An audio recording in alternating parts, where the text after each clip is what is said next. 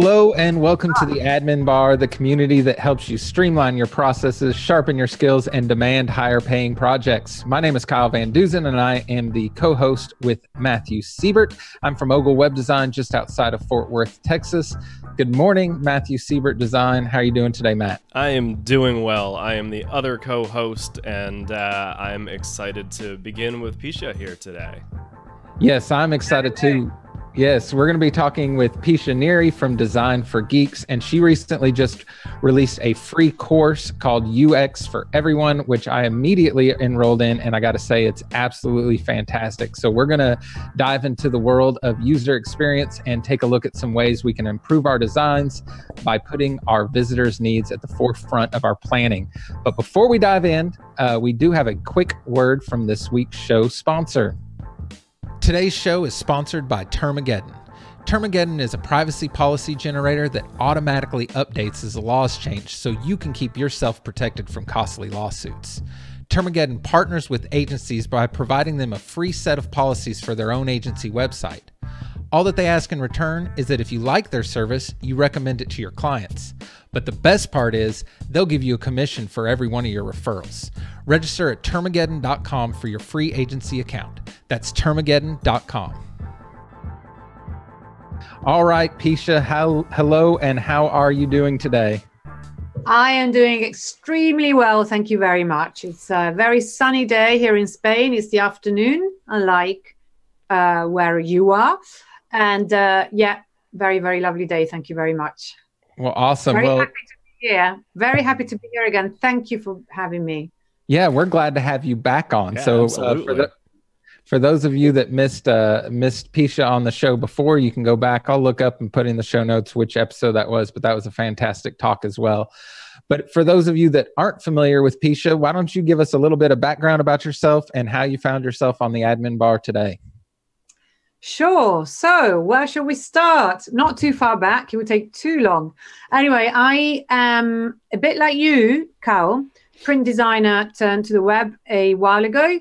Uh, my uh, um, initially my experience was in book design because I actually I am an art historian by training. I don't know if it ever came out. Sometimes it comes out, sometimes it doesn't.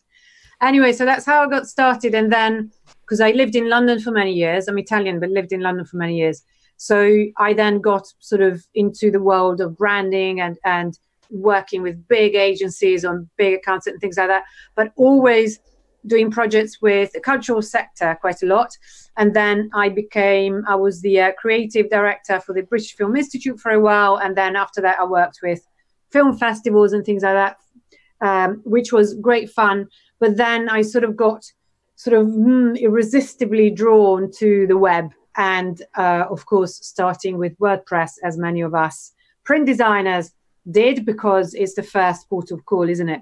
And then when i started designing for the web i realized that there were so many things that were very very different from designing for print.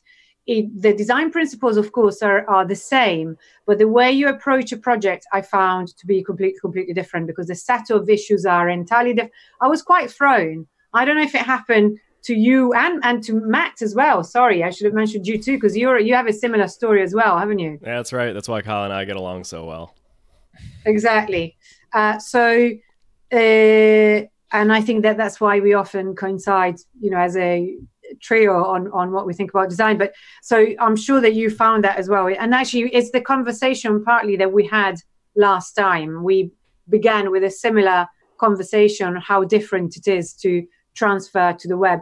And that's when the thought of UX, when I was, especially when I started Design for Geeks, which is basically trying to bridge the gap between designers and developers and marketers and anybody else who designs on the web without being a trained designer.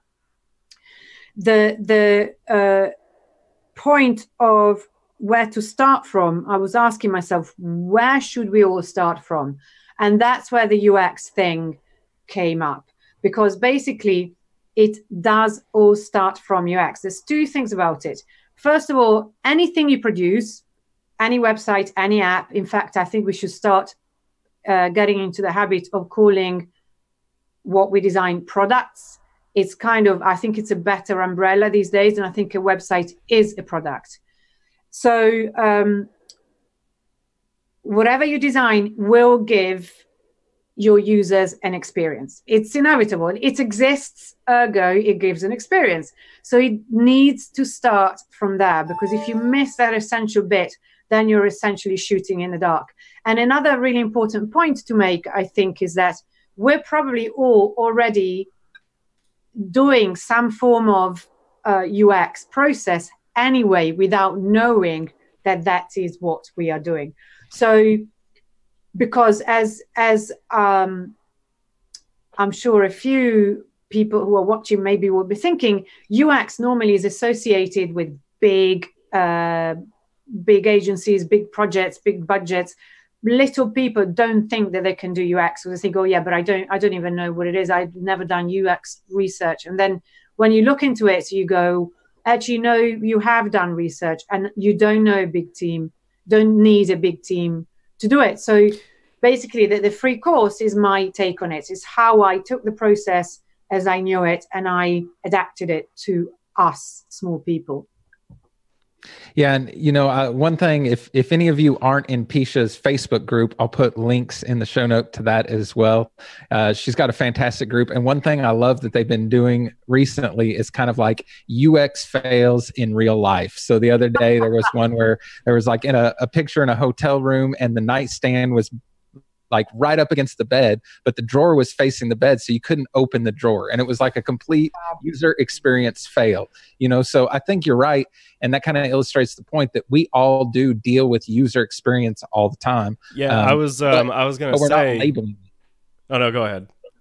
Uh, well, we're not we're not labeling it in our mind user experience. You know what I mean? Go ahead, Matt. Right. Yeah, and I was going to say, you know, to follow that up is that you know you are studying UX every time you go to somebody else's website because if you if you ever say to yourself why did they do this? or this is complicated or like you know it's just frustrating you're learning from that. And typically when you hit something like that and you're developing a site that's similar you know in the future you're going to you're going to recall that and say you know what? I've hit this before. I know how people don't like it. I'm going to do something different. And you know with Piccia she's taking that and just making you know 10x that Right.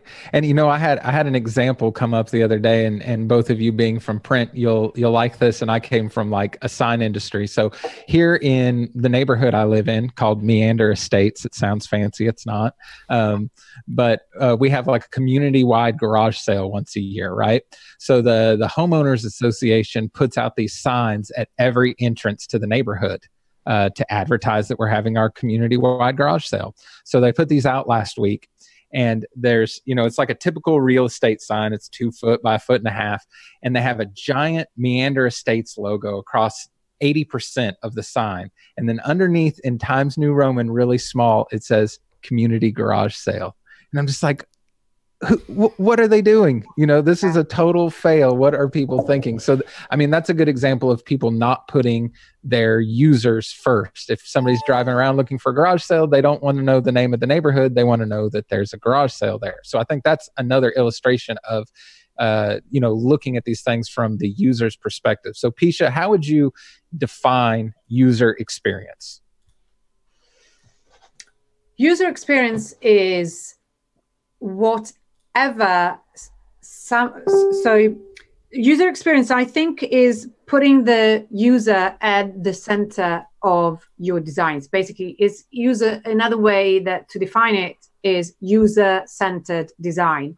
And then when you get to that then you get to the fact when you start thinking about it more closely you're probably even sort of slightly disturbed by the word user because user is like a very dry and almost not offensive but almost offensive word. Basically the human beings that are going to interact with whatever you produce. That's user experience. So that's where it starts from. It starts from empathy with whoever is going to use your product. And that opens a whole world. It really really does because when you start talking about empathy the first thing is that you need to use the right kind of empathy. Uh, before I forget, just in case I forget, there are two essential talks about empathy that are a must watch. They're uh, incredibly wonderful to watch anyway. That anyone, you don't need to be actually a web designer uh, to to watch them. One is by uh, Morten Rand-Hendriksen, whose uh, his site, his website is mor10.com. He's a fabulous. Uh, I know him because he, he's an instructor. He teaches on lynda.com. He's fantastic. And he did a talk at WordCamp Europe 2016 on empathy. And it's a fantastic talk. And basically, what he says is don't just because you think that you've used empathy, it doesn't mean that you have. Because the first thing about empathy is that you have to accept the fact that it's not possible for you to know how someone else feels. You just can't know.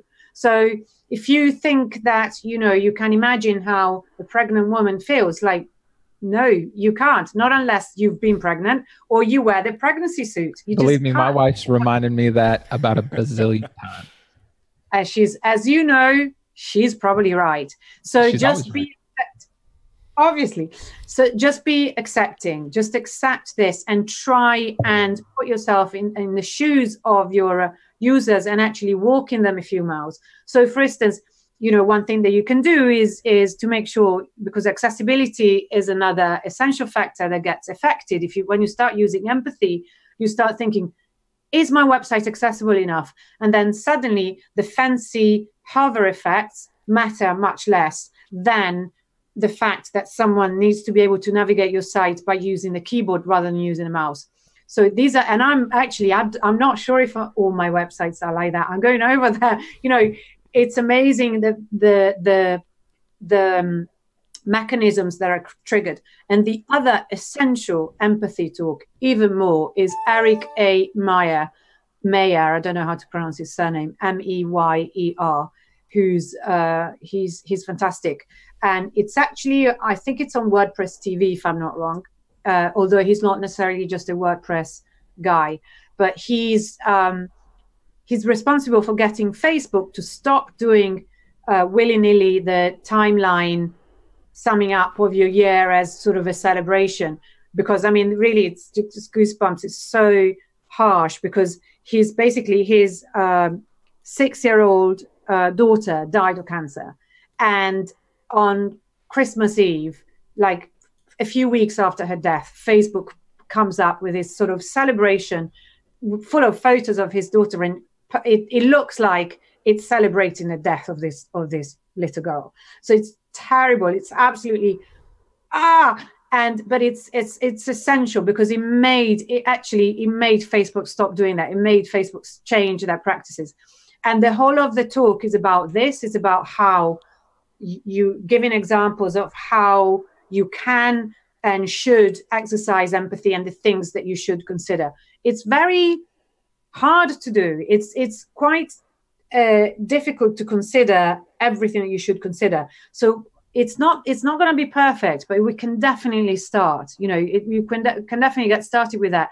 And then the other the thing that I love love love about the concept of UX and the way the UX works is that the whole point of UX is that it's not perfect. You don't give your client a product that is perfect coming out of the box. You tell them, and that's really important. You need to make sure that they understand that this is what we think works now. We can only improve it based on on the data that our human beings that use the website are going to provide us with and by asking them questions as much as possible. I think this is the biggest lesson. And I think that this is as especially if for those of us who work with small clients, we need to make them understand because it's a common mentality that you know a clients like you know website is like a brochure you know once you've done it it's printed that's it right. no it's not like that as we know very well yeah it's not and, like that and that's one thing that that is really great. And there's a lot of great things about your course but that's one thing that's great in there is kind of talking about that that user testing. But you did say something that i had put in my notes before this show to kind of bring up. So you led me into it nicely. Um, you brought up facebook and user experience. And i and i kind of had this this uh, general idea written down and i just kind of wanted to get your thoughts at it. So you have uh, i'm going to use two different really huge sites that everybody knows right? So you have a site like google you go to google.com and you land there, and it's pretty much a blank page with a search box. And when you type in a search query, exactly the thing that you think's going to happen happens always. And then the information is displayed in a way that makes perfect sense to your brain. Then you have another giant site like facebook.com that you log into and nobody knows really how anything works on it. Like there's just random shit in my feed that I don't know. It's not in like a time order. It's not in an importance. It's just completely random and nobody understands it. Yeah, it's funny you mentioned that um, the other day. So I don't know when the the uh, the update was pushed out, but um, like profiles have changed slightly, and I was trying my damnedest to find my own photos, like my, and I couldn't for the life of me figure out where the hell they they put them. Like apparently now it's down towards the bottom in like a little like square, but there's no there's no photos button anymore, and even pressing that, it's it's pushing it towards or pushing you towards uh, your profile pictures and updating that stuff and not seeing like all of your old albums. That's that's that's awful. Right. So so how do, how do those two things exist in the same world? I mean these are two huge companies that i mean both of them have flaws but both of them are doing really well um, but one seems to be handling ux a lot better than the other wouldn't you say uh, yes even though I don't want to spoil, you know, rain on your parade, but that's about the good, the one good thing, good user experience with Google. Because try and go into Google Play or the admin for G Suite, yeah. and you know that's a completely different conversation that we would be having. Yes. Also, yeah. my Search Console is the worst. Oh, or any of the oh, help yeah, forums no, no, on Google. Getting the analytics or the or the webmaster tools, that's terrible. But try and get a an invoice for for certain there's a certain service that I actually gave up on giving an, an invoice for to my accountant. It's like four euros. euros. I'm like, okay, I'm writing that off uh, because it's impossible to find. It's not worth my time. It's just not worth it. So there's they don't do it. That my my theory about that is that it's it's a mess because they uh, they have had an organic growth, especially Facebook they i think there was a vision behind it as we know there was definitely a vision behind it and it was the vision was mostly i think that it was going to be created largely by the users and then the user will be completely what's the polite word to say that? You know you don't have by, to by screwed over by facebook in a million different ways. So but facebook gets us to create the experience. That's what happens. But that was always the vision. So I think that that's why it's messy. It's because there was a vision where the users would completely create the experience, but that doesn't mean that it was a planned UX. Because how do you plan Facebook? How do you, I mean, also, because the people that experience Facebook, I mean, there's billions and billions of people in, in it. It's not possible, I think, to uh, ask samples of because what kind of samples of population do you predict? I, am probably completely different in my habits from anybody else my age in my same building. Do you know what I mean? So right. I think that it's it's uh, it's sort of too much. But I do wonder sometimes. I just think seriously, did you seriously do this?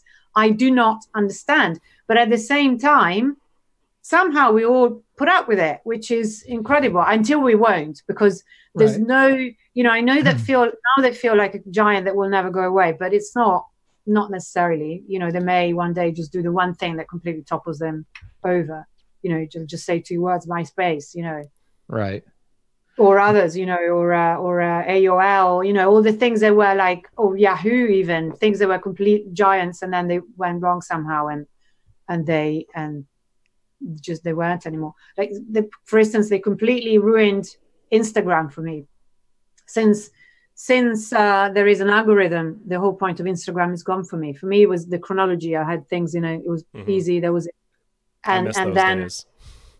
yeah, but that's it's it's always because they want to make as much money as possible. So they're not really thinking. The whole point is that, in fact, actually, I've got it now. They're not thinking about the users.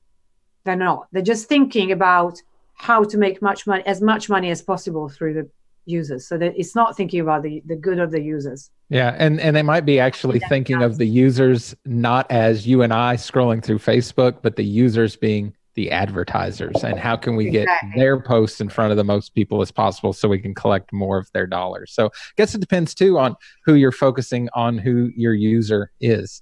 Um, so in your in your course you talk about um, the the process of ux and design thinking and you go through three phases um, yeah. within that. So, why don't you kind of give us a brief outline of what those phases are? And I'd like to move from there into talking about how we can kind of fit this into our development process because I think thinking about all this is going to be a little bit new for us, and we want to know where we should start with this. Yes. So, the first thing, so design thinking is um is a methodology that's like I say, I sort of that's my condensation into a, an abbreviated UX process because the UX process with big teams and so on is huge, and there's lots of different professional figures within it and so on. So this is my distillation. It's just just to make clear that you know I'm not claiming that I'm a you know sort of big UX guru because that's not who I am. But the design thinking process I, I like very much because it starts from empathy. It's got its negative sides, but I think that if you stick to the research phase as being the most important, that's where it's it's it's it becomes it brings real change for, for small people like us. So the research is is where it all starts. And I think that the big thing to understand is that the research is on the clients and on the clients' users. We have you always have two types of users, not just one. And you all do it already we all do it. I mean, anyone who's done WP elevation, they talk about a technique that's called go wide, go deep. And basically, it's asking questions in depth to your client. And that's a form of, of UX because you're researching. Then the important distinction to make is that you also need to ask your client about the their users, which is what I don't think gets done enough. And I think that's a big shift to make. And the mentality shift that a lot of small to medium business clients need to make is that it's not about them, it's not about their taste, it's not about anybody's taste. In fact, it's never about taste, but it's about their users. Having said this, it's also important to remember that business owners are also users and their employees are also users. So you need to really identify first who the product is for, who's going to be using it, interacting with it, and that that's the clients who visit it and buy or or consume content or whatever it is that they do. Then there's the owners who uh, whose business it is, and there's also the employees. So there's there's a number of sets sets of people that you need need to think about, and basically just keep asking and keep asking why. So whenever a client's client wants something i think this is going to help so many people. If you start asking why and you ask and then they give you an answer and then you go why? It's a little bit the go wide go deep thing but it's about every single thing that they ask you for. So if they say i want a uh, hamburger menu and you go okay why? And they give you a reason why they want the hamburger menu and then you go okay why? Why do you want why, why that reason because they say, you know, why? Uh, because it's cool. It's like, why is it cool? Where have you seen it being cool? Because I've seen it on this website. Oh, okay. And why is that website cool? Oh, because it's, uh, you know, my my brother-in-law and we're in competition. Oh, okay, so why are you in competition? And that always, I'm completely making it up. Sure. But keep asking why until they tell you to literally bugger off because it, it always uncovers things, but also it gives you power because it gives you the power of saying, You have not given me a good reason and i until you find a good reason why you want something then you shouldn't be doing it fundamentally you, you know unless it helps someone. So sorry yeah. No you'd uh, you'd mentioned um, it it doesn't have anything to really do with taste necessarily which is something that when i was doing branding a lot and i was presenting uh, you know however many sketches of the uh, the possible logo to the uh, the client I would always remind them this is not about your taste. This is about how this is going to resonate with your clients. And you know that that helped push those forward a little bit more than if they were just choosing, uh, you know, based on their own idea of what the logo should look like. but similarly, you had also mentioned that you know UX isn't about flashy, you know, hover effects and all of these things because it can get confusing. Um, and merging those two together, I've uh, I, I have this one site. It's uh, it's focused at the 65 plus crowd, and it performs incredibly well. However, it's something that I would absolutely not design typically because that's not a demographic that I'm I'm very uh, very familiar with as far as designing, and it's gone through many uh, like Reddit. Uh, what am I trying to say here? Uh, renditions of the uh, the site, and a, every time you know somebody comes on and they email the uh, the the owner saying, "Hey, I, I couldn't figure this out," or "How do you download this?" or that you know whatever question they might have, we go and fix it. And now a couple of years after it's it's launched, and we've had all of these updates the, this client gets compliments all the time from the 65 plus crowd saying your site is one of the easiest things I've ever used. It's like everything that I need is right there. It's easy to find, and that's that's good UX. Right. Even though it's not your taste, it you know you don't have it in your not my taste because it's not your taste, right? I'd love to see it if you can share the link. It sounds it sounds brilliant. Yeah, sure. Yeah, because um, it's um, it's really interesting. I think we might have had this. This might have come up last time as well. That usually the awards websites with lots of animations and lots of creative things in there are from print designers who haven't really studied how to, you know, super creative, very very talented, but made your site is not usable and it's doing nothing for the users and you're just doing it for yourself to you know to flatter and please yourself. So it's a big difference because also it leads straight into accessibility. And accessibility is a really big thing. It's first of all, it's Ill- illegal if your website isn't accessible. And it does mean that you need to, I say sacrifice, but it's, is it a sacrifice? I am sort of going completely the other way and I'm kind of thinking it's is it beautiful if it does lots of stuff? Maybe not. Um, it sort of changes the way you design, I think. And then the, the challenge becomes how can I create something that is to my taste and that I think looks great, but is also accessible and it doesn't have any fancy stuff. And especially, I get motion sickness really easily. So the uh, even gifts sometimes are like, will you stop that gift, please? You know, so because I'm sort of Don't joining. tell Roby that you're going to get it. I'm joining the lavender, you know, the the blue rinse brigade.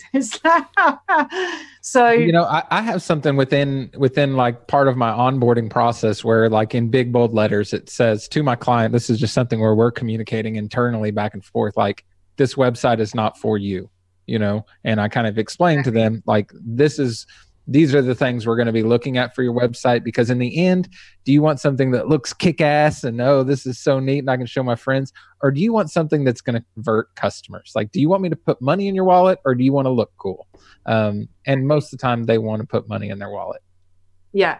and so as I was sites saying, absolutely. And as I was saying, you, you hit the nail on the head. You already are doing it. That is a form of UX. The the way that you uh, bring it forward forward with UX is that you really take much longer with the research and you really and creating the user user personas is the way to approach that. And uh, when I was at the uh, BFI in London, the British Film Institute, I was working with a web team on a big project, and so many user personas were created, and and we worked really a lot on uh, defining that. And I think that that's the one thing perhaps that uh, people, you know, at a smaller level haven't done much of or don't think about doing so much. But it's really essential because what it makes you do is it makes you think, okay, what the, does this specific person, let's say her name is is Sharon, do when she visits the site? Because then if you put yourself, try and put yourself in her shoes, you think, well, that orange button that I think has such an amazing offer for her, she may be not ready to click it. So if she isn't, what can I give her to do instead? Do you know what I mean? So Right. it makes you think in all the sort of alternative, and then okay, if she doesn't click that here, what what happens to her now because i still want her to experience the site and make the most out of it and also i want her to go somewhere But because it's also about it's about them but it's also about what you want them to do what your client wants them to do ultimately. You just have to lead them by the hand gently. So i think that that's the big difference that people are not used to doing so much. And maybe for those of us who build funnels maybe maybe you've done a funnel flow perhaps. But when you start doing proper user flows, that's where it really changes things hugely for me because it means that then the whole plan, the whole thing becomes so clear in your head about what needs to happen and what you need to do. And it makes doing the wireframes so much easier. Yeah. And and you go through a lot of the research stuff in your course and use some really good examples. And i think i'm familiar with sharon. I think that's the name you used in there too huh? uh, yeah it is. I just i need to figure it yeah that's this. So after, after we go that's that's phase one is research. Where do we go from there so then after the research phase the design phase begins and the design phase this is where it gets interesting because people think that designing is actually drawing things on a page or styling things. No, it's not. The design page is the planning, uh, design phase rather, is the planning phase still. So it's when you start doing the sitemap that you will create from all the information that you got in the design phase and the, the wireframes where necessary because we don't always do wireframes. Let you know let's face it. And in the real world the process is really really messy because in the in in theory you should carry out the whole of the ux process and then get started on the ui you take all your things you get take all your the, the sitemap the user flows and the wireframes you give them to a ui designer and the ui designer starts working on that the reality of things is very different and because you know design is messy design is is coming, going, to and froing. And that's why I like UX because it allows for that. It allows for you to change in your mind, changing something, and often finding yourself working on the UI at the same time as the UX because mm. for budget reasons or also because it's actually, I think, probably in, in a lot of cases, a better way of working because unless you have separate design and development teams, you know, in that case, you do need wireframes that need to be quite accurate. And, you know, if you can do it in, in Sketch or Figma or some uh, program that has a code handout uh, feature, that's great. But those are high level budgets because most of us design in browser, you know, that's the yeah, reality. And, you talk about having to hand it off from one person to the other or, you know, it being messy. So when we do this, when we're working directly with the client, how many of you have handed a wireframe to your client? They're going to be pretty confused because they're not familiar with what a wireframe is. They're going to say, "Oh, this doesn't look good." You know, where's the color? Where's my logo? You know, so kind of at the same time, just because this is reality, and maybe in a perfect world we would do things a little bit differently, but we also have to mix this in with reality. And in reality, we probably need to have some styling to hand to the customer as part of this process. So I think what you're saying makes complete sense. Absolutely. And there's also, there are specific methodologies that basically work like this. I mean, Agile is, is one, but it's not quite the one I'm thinking about right now. The, the one I'm thinking about is called growth driven design, and it's uh, done by HubSpot. They have free courses on it. And in a nutshell, it's basically taking a long time to research, but then deploying an initial version of the product and then building up from that and going and testing it out and going okay we need to change this and that and adding adding things as you go along which i think is a fantastic way of working. And it's kind of something that i had been doing instinctively mm-hmm. and then realized that there was a methodology that's called like that. And i was looked uh, closer into it and so on. But basically it's so much better because it allows you to go to a client and say look this is a big project that you have because actually a lot of small clients actually come to us with really big projects. And you're like it's a lot of money but you can tell them that and say look let's spend a considerable chunk of time of time on researching this and that's let's chunk it up. So you can pay a monthly fee and or you know we do it in what are called sprints in in agile terminology or scrum which is another um, methodology. But anyway and then and then uh, they can see results sort of immediately and they it's not a disaster because they haven't got a thousand pages website with God knows how many forms and so on. If there are mistakes that can be corrected as you go along, you've only done a little bit, so it doesn't matter. It's not a big deal. And I, when I look back, I think that's really the only way to work, isn't it? Yeah. It, it that, can only be the best way to work. I, I, got a good example on doing that the wrong way of a, a, website that I have for a client now that has grown huge and now has a ton of visitors and is v- extremely vital to his business, but it's just been cobbled together with one patch after another. And now when i look at this and and you know part of it was just okay we're back in reality again. When we started the website they didn't know what they needed. He didn't know. I didn't know. You know we didn't know who the customers were really going to be. And over time we've learned a lot about that. But man if i could start that whole thing over now you know that $2000 website i made would be $20000 for me to redo it today because we would have to do so many things differently now having those years of research you know that we've been doing on the fly. Exactly. So instead of if you if you know that a project is going to grow if you look at it as something that you know is going to grow then you set the foundations in such a way that you sort of build module by module by, by module. And that's why i like wordpress as a technology because it allows you to do that. I can give you another bad example. I mean the, the british film institute because it, uh, and when i first saw that website from behind, which was 11 years ago, they they kept saying the web team kept saying, you know, the technology we started with, I can't even remember what it was. It's just too hard to change now. We know it's a disaster, but it's too hard to change. Guess what? It's still the same. The core of the BFI website is still the same. And and it's you just look at it and you go, oh God, I feel for you so much. And but you make it work. You know, you just you just make it work because you have to make it work. And then yeah somehow somehow it works. There are buildings. I like the the i like the uh, the analogy with with buildings. I think i think it kind of works because there are buildings that are kind of terrible but but they work and they they serve their purpose and you you know what? Is fine yeah, and I think kind of where the conversation going is leading us perfectly into the third phase, um, which is kind of testing all this, right? So, yeah. um, talk to us about that phase of the process.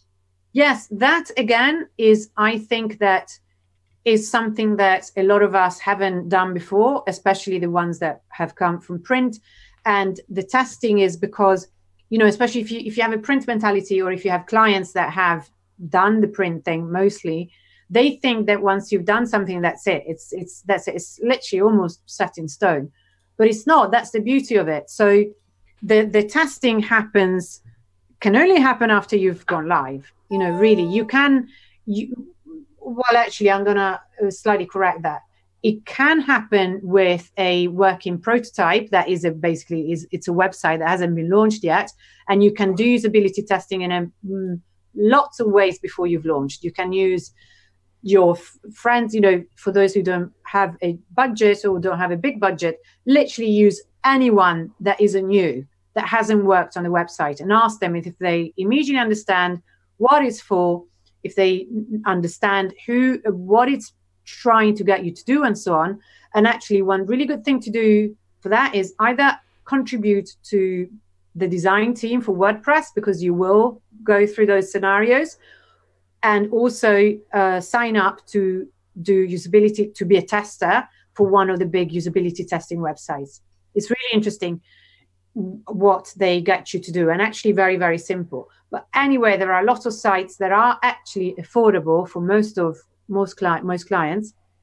And uh, because you can pay by trial you know there's various ways that you can do it. And you get real human beings using your website. So this you can do for some testing before you launch, but the real data will only come after you have launched and people the real people who are interested in your in your products or whatever it is that you're offering via the website will let you know whether they like it or not or how they interact with it and so on. So that's why the going back is is inevitable and that's what makes the process great in a way. And then also another thing that I want to say, and that's something that I don't always do in my own projects, or that clients find difficult to understand that they need to invest money in.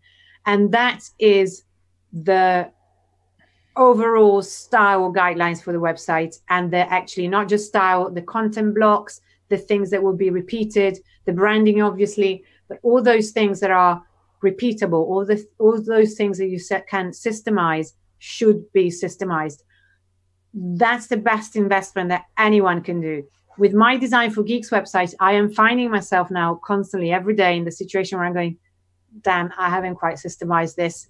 Mm-hmm. And I still, I still just cobble it along as I go along. And I think, okay, I'm going to take a, a time out to systemize this because then when I have to hand it out to someone else, they can do it. But also, what happens if you have a system, if there's elements in the system that you need to change because you've realized that actually the buttons should not be green, that actually inexplicably call to action buttons work in a stop color which is red which i never would have thought so but apparently that's what happens so if all the buttons need to change, then it's much easier to do it if you've systemized it, if you have global settings or if you have a library of things. So sure. it's never too early to get started on that. It's such an investment. And I find it difficult to small clients don't it's a bit harder to well actually why do I say small clients? Any clients. It's it's not as easy as it may seem to persuade them that that's the best investment they could make. Yeah, and you know, I think and you'll have to forgive me if I'm remembering this wrong, but when you f- first launched your course, I signed up for it. That I think the day you launched it and watched watched it all within 48 hours. Uh, but you kind of have this process on like a linear timeline, right? Uh, so there's step phase one, phase two, phase three, and then there's some arrows that could take you back to one or the other, right? And I almost kind of picture it as a complete circle in my mind because if you're starting with research and then you're designing and then you're testing well, after that, when you test it and you get some data back, you got to start at the circle again. And it, I mean, it's it's almost a never ending thing because you can always improve upon these designs, you know, or, or, or your projects. Absolutely, because also, who's to say that the users will stay the same? Yeah, they may not stay the same, or the environment doesn't stay the same. You know, or maybe sometimes something that works in the in the summer won't work in the winter. It could be that because people habits change, or the demographics change, or there's so many things that, or for something that's geographically, uh, you know, that's geolocated, it could be that the population changes over the summer. There are so many things that, so many variables to bear in mind that you just have to keep testing. And some things maybe work at some point, but then they stop working for, you know, it is i i do think that that's uh, what it is is it's never stopping which is also why it's an important part of the way we educate our clients to make them understand that really a website is an investment. It's an ongoing investment. It's like uh you know can i compare it to food? No but it's like or having a, a garden.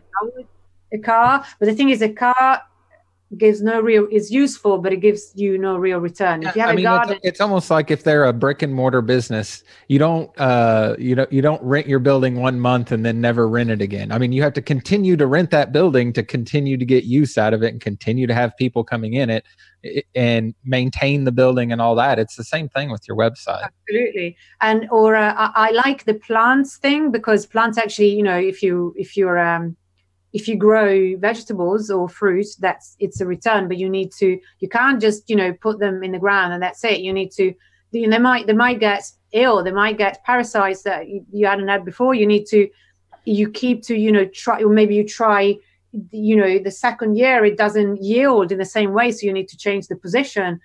It's it's the same thing. So that's i think what uh, i'm sure i'm not the only one in saying that it has sometimes been hard to make clients understand that spending money on the website regularly is a huge investment.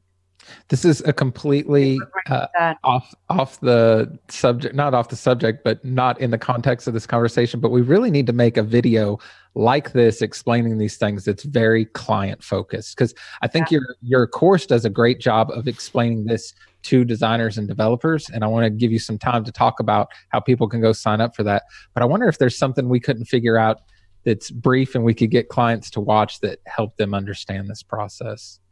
Yeah, I think we should all get together and do that because we, I'm sure all of us really do as much as we can. And I think that things are improving. A lot of clients are seeing that now, and it's much easier for them because there are so many people that are successful on the web that uh, clearly spend, you know, invest in in that. Uh, but yes, I think we should do it definitely. Let's, let's do it. Cool. All right. Well, uh, I know we mentioned the course about seven thousand times, but let's uh, let's talk about how people can go sign up. Kind of what to expect from the course. How long is it? Uh, how long will it take them to get through of it? Uh, what kind of things do, can they expect to get out of it when they've completed it? So, correct me if I'm wrong because you've taken it, but mm-hmm. I think that once you finish this course, you really do have a framework. It's only a free course, so obviously it doesn't go too much in depth, but I think that you get tangible results. And I am very grateful to say that I am getting really good feedback from it from people that actually reach out to me precisely to say that, to say, I had a problem with a client website last night and I uh, went through your course at you know 1.5 speed and by the end of it i completely solved my my solution. I went to bed having sorted it out and that really changed my life. Thank you so much. And so I'm not saying that your life will be changed, but I'm saying that you will have a framework. It's only a free course, but it will give you a solid process to follow. And it give you gives you a lot to build up on. Obviously, a, a, a lot there's a lot more that you will realize that you probably have to learn, but it will be enough for you to get started looking at things from a UX perspective that maybe you didn't have before, and especially a user-centered design perspective. Oh I'll say from my. Would you, would you agree or? Yeah, yeah. From my perspective, I mean, I definitely walked away with things, and you know, when when I was going to plan this show with you, I didn't have to go look up notes on what to talk about because I've been through this and I knew all the phases already, and I I had a good idea of how to structure all this because I did walk away with a lot of that knowledge.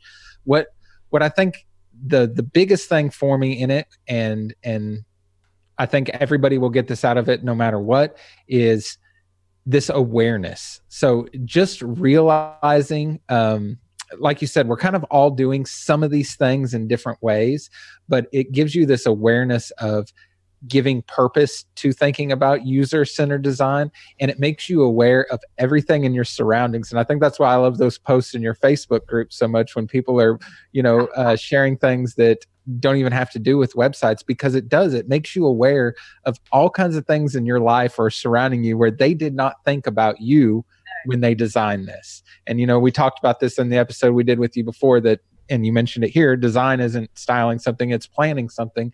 And there's so many things around us that that somebody has set uh, and made big money to design and they never thought of these really simple things that would have really helped the user experience. So i think yeah. the biggest takeaway i got from it was just like kind of this awakening of awareness to actually purposefully think about these things before i start designing. Yeah.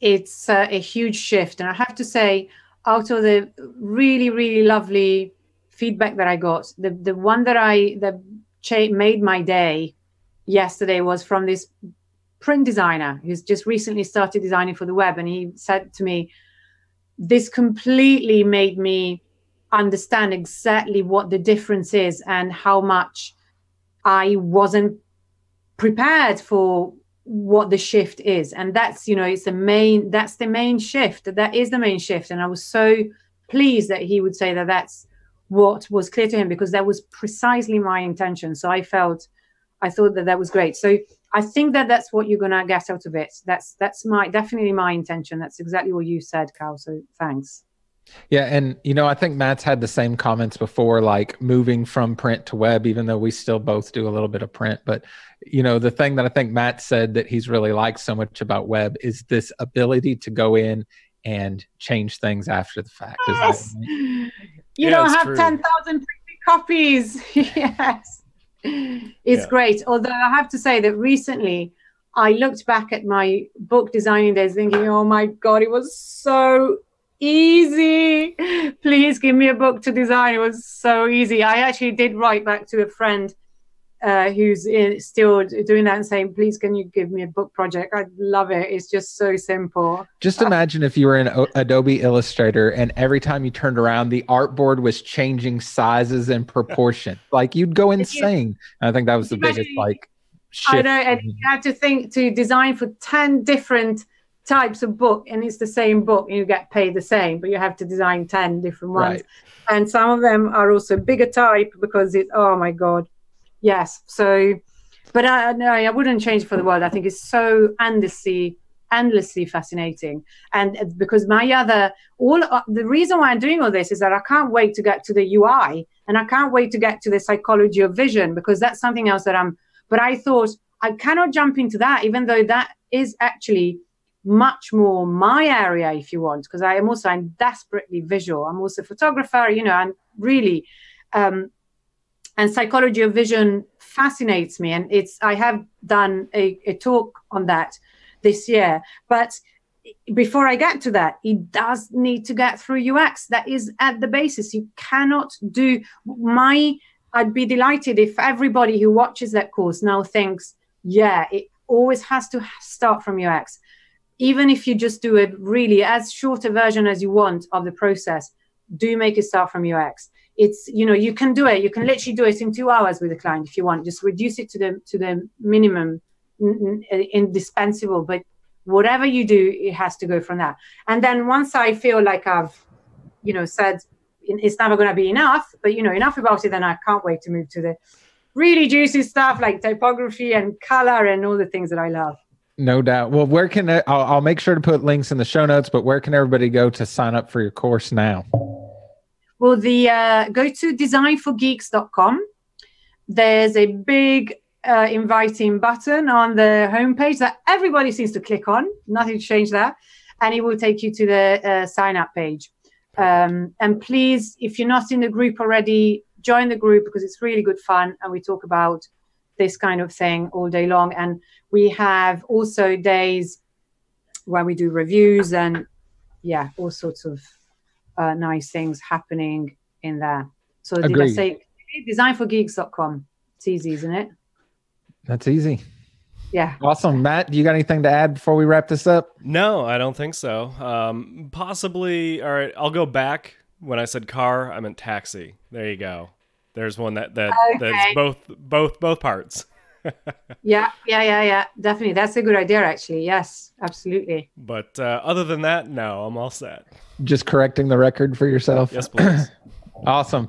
Well, Piccia, we certainly uh, appreciate you coming on the show again and being a part of our community. I know everybody gets a ton of value from all the wisdom you share with us. So thank you very much for that, and we appreciate all the time that you. Uh, you share with us. So, as a reminder, if this group helps you in any way, the easiest way to help us is to share the content, subscribe to our channel, and use our affiliate links. It's all free, it takes little time, and it greatly helps support the show. That is all for now. We will catch you all inside the group. Bye bye.